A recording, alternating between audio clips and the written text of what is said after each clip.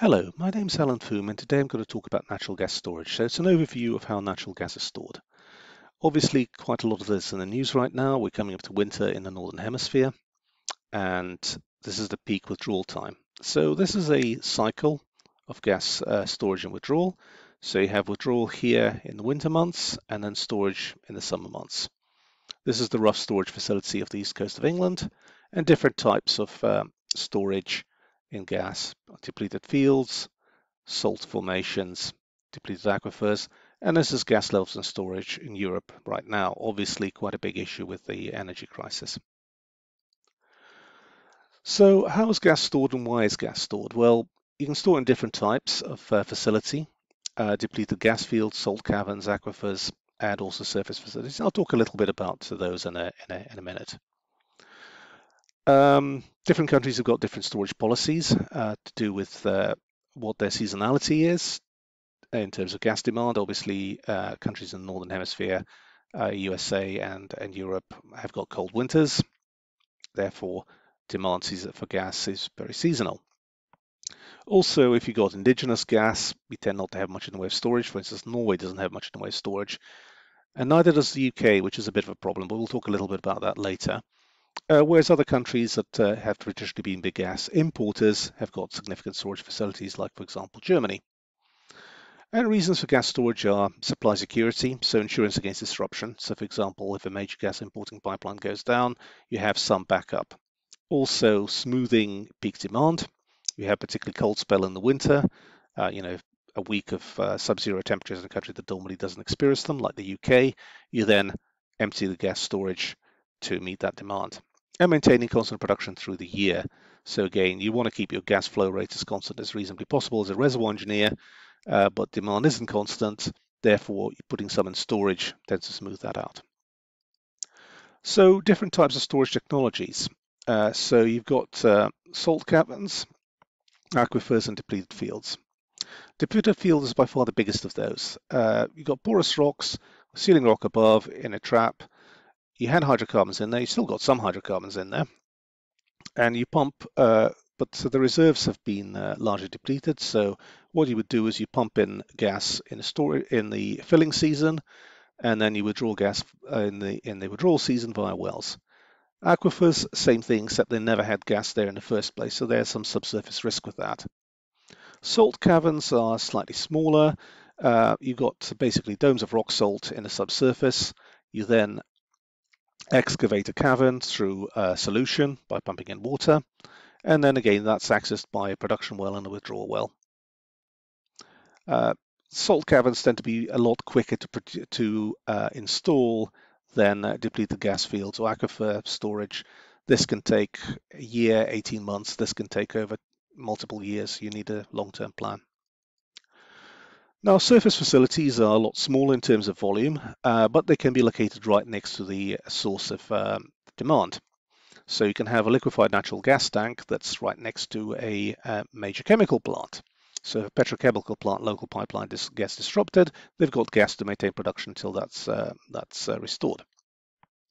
You also have these gasometers uh, that were located in British cities. So this is the Oval Cricket Ground. This is uh, another gasometer in London which store gas in a compressed state. So this is an example of how it's done. So gas is compressed by water and then you reduce the water, you reduce the pressure and then gas flows out.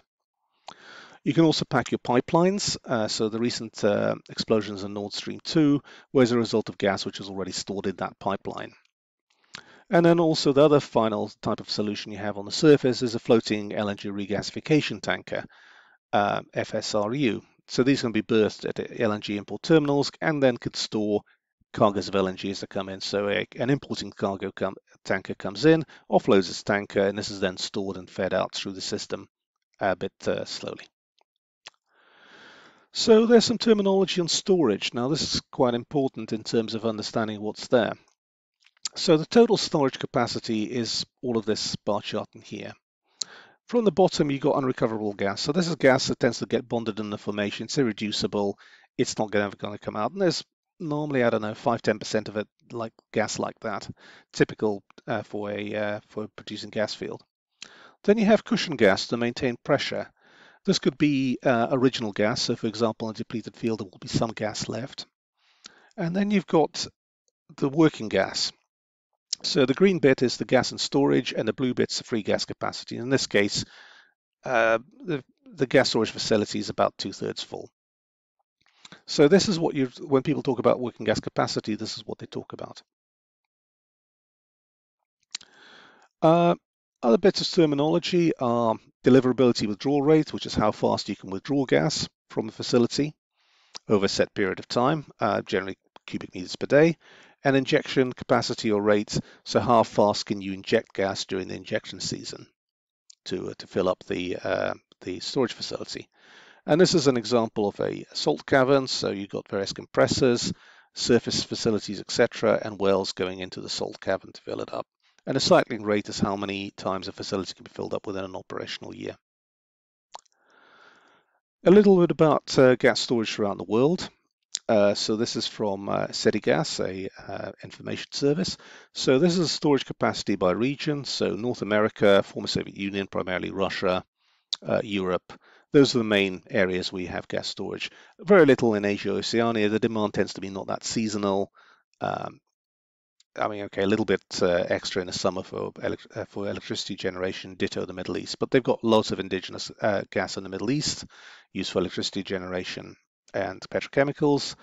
And Asia tends to be either LNG or indigenous gas, but Europe, North America, and the former Soviet Union are the main facilities. So numbers of facilities, again, dominated by North America, withdrawal rates dominated by North America, and the cushion gas capacity which is to maintain everything that's going there, and the working capacity is about a third, a third, and a third. Within Europe, again, this is from Cedigaz, um, 99 BCM of storage capacity, kind of makes percentages easy to calculate. Germany about a fifth, Italy 16%, France 13%, and then all the others. UK is relatively low, and I'll come to that in a minute why that is and why that might be a problem in the future. So in terms of uh, world storage working gas capacity, USA, Russia, Ukraine uh, in terms of working gas capacity and peak withdrawal rate, USA, Russia, Germany. Again, big gas users. Uh, Germany is unusual because it doesn't have much indigenous gas, which is a big problem right now. This is a little bit about USA uh, gas storage. So again, producing areas in Texas, uh, Oklahoma, Louisiana. So that's the Permian, Eagleford, Haynesville, Oklahoma uh, formations, etc. And then in the east, you've got Marcellus uh, in uh, Appalachia. And you've got uh, depleted fields, uh, which are the um, which are the uh, stars, aquifers. Again, not many oil field, not many gas fields and oil fields in, in Illinois, but quite a lot of demand in the Midwest. And um, salt caverns along the Gulf Coast, where you've got big Jurassic salt domes, which is also what is used for the Strategic Petroleum Reserve. And this is all linked by pipelines, um, but you can see a big island problem here in the in the northeast where they've actually have to import LNG because of local political concerns. A little bit about the UK. Uh, UK is short of gas storage, and that has traditionally been the case because the UK has been, until about 10 years ago, independent in terms of natural gas, with all the gases and gas in the North Sea. UK uh, still produces around 40 45% of its own gas indigenously, and most of the rest is imported to some extent from uh, Norway uh, using these pipelines uh, or from the mainland Europe uh, going into Bacton. So that's Bacton, this is Easington, or through liquefied natural gas going into Canvey Island, Isle of Grain, or Milford Haven, which is where Dragon LNG is. Um, one of my former colleagues' actual job title was Dragon Shipping Manager, so she was responsible for shipping LNG into into the Dragon terminal, not for actually shipping dragons, but that's quite amusing. Uh, in terms of uh, storage facilities, there's some salt caverns around here, around Hornsea in, uh, in East Yorkshire, and the Rough storage facility, which was decommissioned as a storage facility and is now going to be recommissioned. A little bit about Rough. Uh, the Rough field is located on the coast of Yorkshire. So this is um, a place called Easington on uh, in the on the coast of Yorkshire, which is uh, the main gas terminal. So that imports gas from other fields as well. Rough was originally a Permian uh, gas field, uh, typical reservoir for the place, uh, Rotliegend Reservoir. 24 to 36 kilometers water depth, reservoir 2,700 meters deep. Uh, it was developed in the 1970s and in the early 1980s, British Gas as then was bought out other joint venture partners and converted to a storage facility by building these three new platforms here. So that's these three platforms illustrated. Uh, its main reason was uh, to meet peak winter demand. So this bit here during the main um, production season and injection season in the summer. British Gas was at the time a national monopoly and had to ensure that uh, gas is, uh, is always available. Had 3.3 uh, billion cubic meters uh, gas capacity, 44 MCM withdrawal, 125 MCM injection. Uh, it's to do with the size of the pipelines. Could meet 12% of UK peak demand for 19 days, so effectively peak guarantee. However, storage had a complicated history in terms of economics. Uh, it became less economic due to the arbitrage in prices between summer and winter, and the facility was getting old, and maintenance costs made future use uneconomic. So in 2017, Centrica, the owners, uh, successor company British Gas, decided to close it as a production facility and then move on to being a um, just producing the cushion gas. But that's going to be reopened potentially later.